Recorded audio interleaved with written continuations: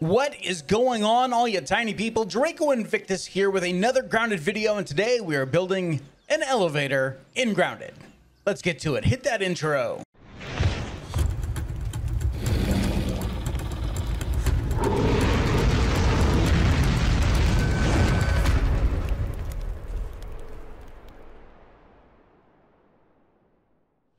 Right, guys. So, yes, we are in grounded. Yes, we are building an elevator. No, this is not my original idea. I just want to say that straight up front. I saw it from uh, Golden Games and Things. He does have a YouTube channel. He has all of 13 views on this video that he made. Mine is slightly different, it's slightly less resource intensive. And I wanted to show my version to you guys. And I'm also going to link to his channel down in the description below because you know what? He gave me a fantastic idea and I definitely want to share the love with that. So if you feel like also sharing the love, swing by his channel, check out his video, give him some love. But let's get to it. So here I am standing at the top of my tower. Let's drop on down here.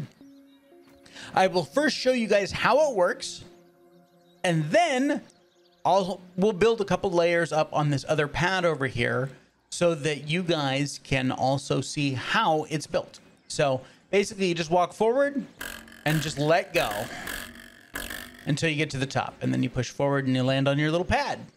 Whatever you wanted to do up at the top.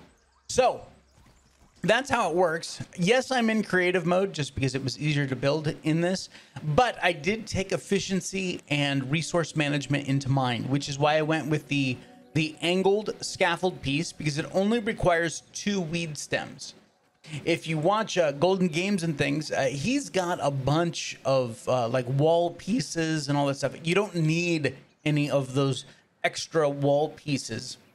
He had a bunch of grass planks that would be, frankly, this would be very, very resource consuming uh, to build in survival mode. So I had that in in mind. So let's go ahead and jump on over here. We're gonna open up our build menu, grab our our triangle angled wall piece and we're going to flip that around so that we're staring at a flat side and then we have another flat side and the angled pieces on the back which we're not going to worry about. The only reason i have the uh, the clay floors down is just for an even surface. You can do it with grass floors whatever you wanted to do.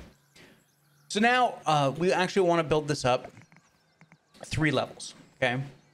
And we are going to grab now our little springboard here and you can see it's kind of snapping in place but what we want is we want where this long flat piece is right up facing us. And you can use, I'm using control on the PC uh, to get it to go into snap mode. So let me get rid of that. So if I turn it off, snap mode, you see it gets all kind of crazy and all that stuff. And then you'd have to kind of make sure that you got it just right. But turn snap mode on. And there we go. Okay, so there's our first piece. Now what we want to do is we want to grab a triangle floor piece with the long angle facing us. Okay. Now I'm just going to ride this up to that pad. Okay, now that we're up here, we want to build up three more levels. I know, this is not rocket science here. Oh. There we go, and get rid of that. And if you can get a fourth, that's cool too. There we go. But remember, you only want the floor up three levels. And remember to have the long angle facing toward the front of your elevator. So now we need to put our, our little bounce pad there. So we're just gonna walk over onto the scaffold and you can walk that. I mean, I'm not jumping or anything like that. You do it pretty quickly, you won't fall down. So now we'll grab our pad and you can see I don't have the snap turned on. So I turn on the snap, but if notice, there it goes. All right, so now it's in place. So now we can actually hit that and then land up here and we'll build a little bit higher.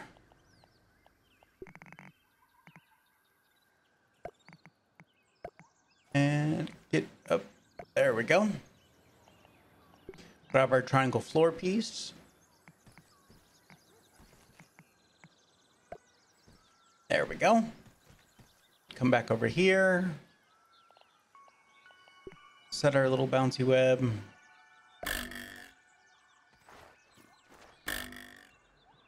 All right. So now I'm just going to build. For your final level, you can go three. Okay. So if I spin this around, right, we could put our floor there and you would make it. But you'd have to do two hops on the last bounce pad, the bounce pad here, because the first hop where it shoots you up isn't strong enough to actually get you up to the third floor. You'd have to do it twice. So I am just going to set this right here, two levels up. Okay. And then, you know, you'd have your floor that goes off that way or what, whichever way you wanted to go. So now we just need to put our last little bounce pad here, our little springy, spidery bounce web, and it automatically snapped right into place with the angle correct. So now we can easily land on this pad. So let's jump back down to the bottom. All right, so here's our new elevator, and I'm just gonna walk forward, and up we go. And you wouldn't need this actual one here, but you could put a third one there. So as you can see, I just went up three there.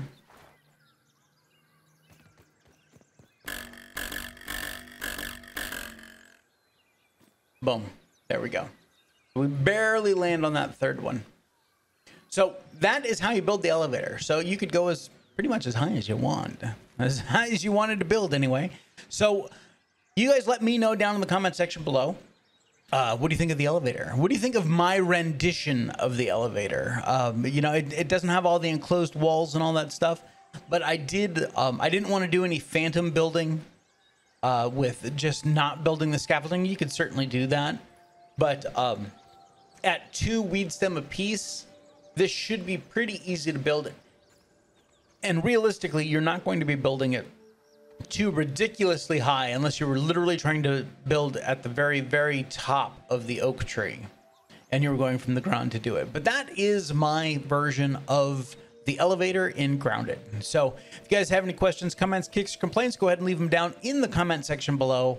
As always, thank you uh, for tuning in. And until next time, you take care of yourselves. This is Draco Invictus saying this has been the greatest day in my life. See ya!